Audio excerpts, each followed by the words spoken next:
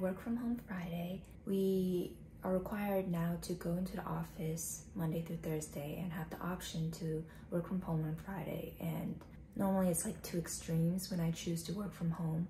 On Fridays, it's either I don't have much work and working from home, from home I can, you know, have more flexibility to just take it easy and like take care of some of my own stuff. Or I am just way too busy on Friday and have a lot of things to get done. And so I want to save like the commute time to the office. As you can see, I haven't dressed up yet. I haven't washed my face. I haven't taken a shower yet. Very work from home situation I have here. My room is a mess as always at the end of the week. So we'll have to clean that up sometime. I just had a call at 9 a.m. I slept pretty late last night. So I rolled out of bed and quickly jumped on on the call. Thankfully, it was just a listening call. Now I'm gonna try to, you know, get a little bit more put together before I get to work. I actually ended up taking a very quick shower and also clean up my room a little bit. Show you guys. It's just slightly cleaner. This is my workstation. I have a huge monitor here, my laptop, and also keyboard and mouse really just the basic setup that you need. I do feel like the monitors have been getting larger and larger. I've never used monitors before working full time in finance, but right now it's almost impossible for me to work off of a small screen.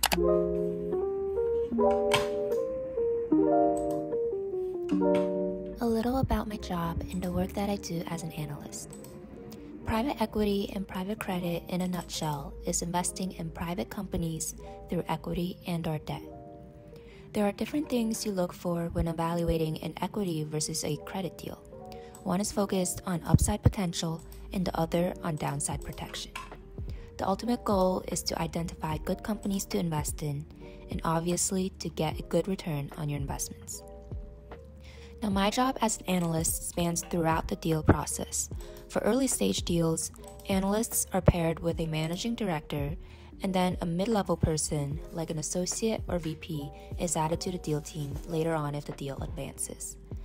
Analysts are really responsible for taking a first stab at everything putting together memos, models, initial legal documents, question lists for the management team interacting with the investment bankers and other third parties, performing all the data analysis, and I can go on and on through all the things we have to do when underwriting a deal, but I think you get the point.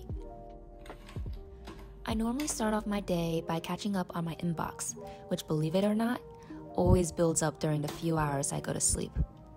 I typically have a good idea of what I have to get done for the week, but because this job involves live deals, my schedule is very dynamic.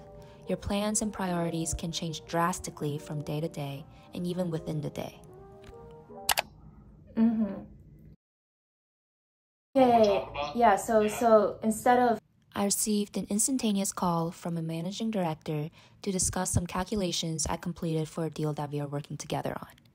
This is very normal throughout the day. Analysts are typically staffed on multiple deals at a time, like two to three live deals and a few early stage deals and you have to be prepared to speak to any of the deals that you're on at any time. Thank you. Bye. Today, my priority is to put together an investment committee memo or an IC memo for a new opportunity. These are basically PowerPoint decks that summarizes all the due diligence the deal team has completed on the company that we want to invest in. These decks are usually used to present to the investment committee which needs to provide the final approval before any investment is completed. Some of the common topics that we cover include an overview of the business, its customers, vendors, historical and projected financials, margin profile, management team, industry, competitive landscape, as well as what the deal team identifies as the investment highlights and investment considerations.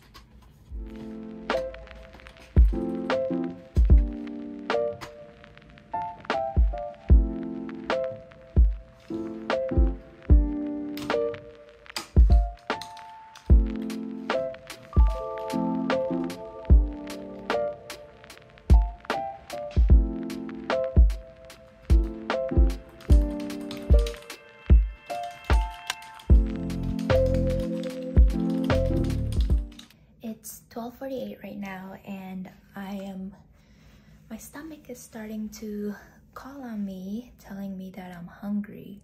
And so I'm gonna try to order something on Uber Eats for lunch. And I've been thinking the entire morning and craving for either congee or Vietnamese food. It's very cold in my room, so I want something warm. And the thing is, if I'm going with congee, I would go with Congee Village. That's the good thing about being located in the Midtown area. I have access to almost everything through Uber Eats. But if I want to go with Vietnamese food, I don't really know which place I'm gonna get pho from. So gonna have to do some research and figure out what I want for lunch. I was just looking at these roses and didn't realize how pretty they are. Because a few days ago when I received them for my birthday, they were still like kind of closed up. But now they've opened up a little bit and it's so pretty. I think roses are supposed to symbolize love and like just, you know, emotions in general, good emotions. That can be love for your friends, love for your family. I just feel like it's such a nice flower with such great meaning, and it's also just really, really pretty. Like, look at this. Oh my god.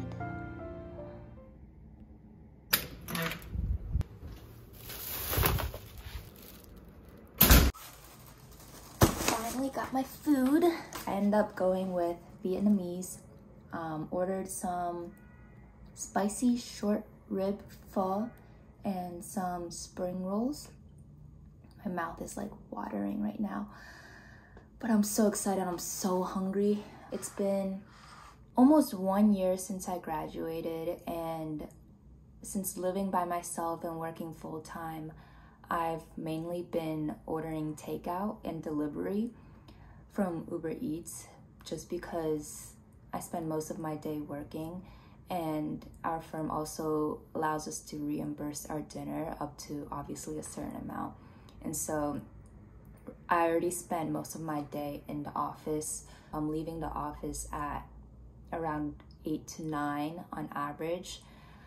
Um, yeah, I'm not gonna be coming home and then cooking my own food, especially when I can reimburse my dinners. And even on weekends, um, I also mainly eat out or like order food because I feel like if I only make food and go grocery shopping for two days, for two days of food, it's not really worth it. And I might actually be spending more money that way.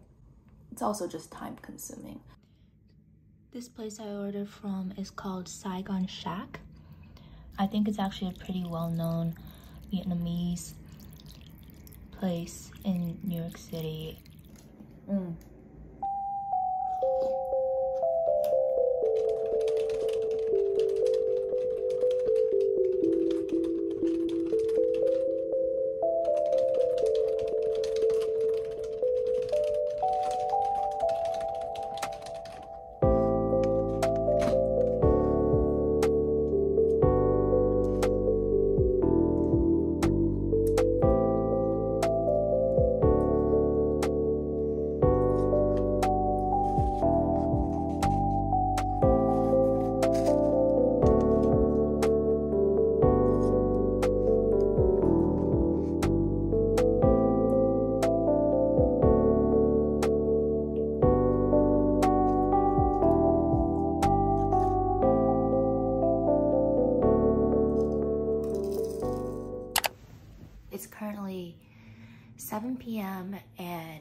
Just woke up from a nap.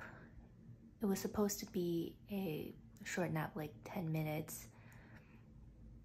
I was just very tired. Um, but it turned out to be more like an hour nap, which is honestly not bad for me considering some of my naps just turn into, you know, waking up the next day and be like, oh, oh my God, what just happened?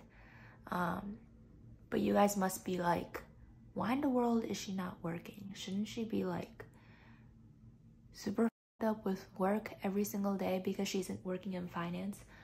So, long story short, is originally I thought I was gonna have a memo due. It's basically like a PowerPoint deck for that you present to your team and your investment committee to share the opportunities. I was supposed to have that due, you know, this week um, for a presentation next early next week, Monday and Tuesday, but we never ended up getting sufficient materials, sufficient data for that opportunity to put together a memo. So my MD told me that real, real, realistically it's going to be for the following week. So it's not that I don't have to work on a memo anymore. It's just I don't have to be pulling like an all-nighter and going crazy finishing up this memo, which is why I, you know, had the time for a nap. I'm ready to go out for the first time today and I'm gonna go to a grocery store to buy some fruits. It's like 8, 8 already and it's dinner time, but I'm still full from my Vietnamese, Vietnamese food from lunch and I've been eating outside way too frequently, aka almost every single meal every single day, and just want something clean and refreshing for tonight. Oh, and I also wanted to show you guys this baby here that I received as a birthday gift this past week. It's a tote bag. I always needed a bag for work and so glad I got this for my birthday. I'm just so obsessed with it. It's so nice. It's perfect for work. The color, the size, the leather.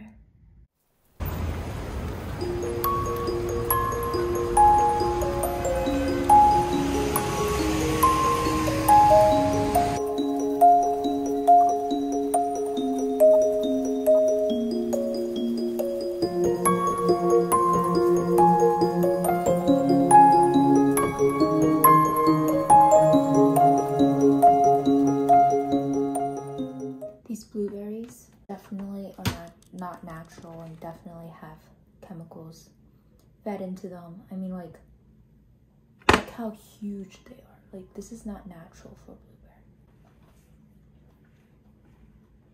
It's currently 8.30 now. Now that I've gone through my emails and there aren't anything immediate for me to work on for work that's due early next week, I am going to move on to study for some CFA. I'm actually so proud of myself that I've been able to consistently do some studying every single night, even though work isn't as busy now compared to the end of last year, just given the market is still very tiring after an entire day of work. And still have to put myself together for another hour or two of CFA studying every night. Otherwise known as economic resources or economic benefits. And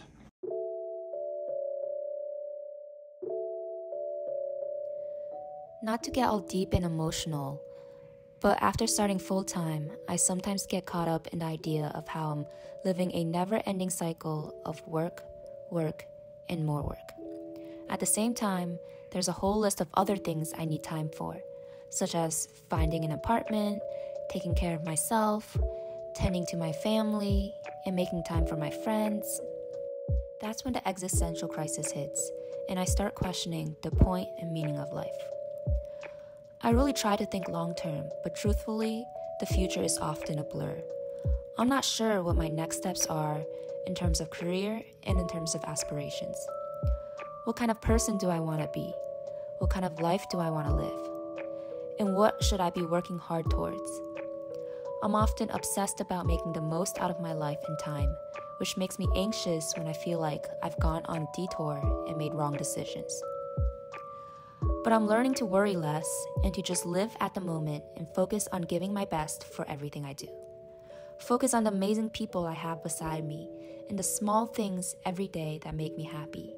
Be that a sunny day, going to the gym, or even just a delicious dinner. In terms of the future, think of yourself as the intersection point of many paths in front of you that all lead to great ends. As long as you are making progress every day, you will eventually figure everything out and find the right path for you.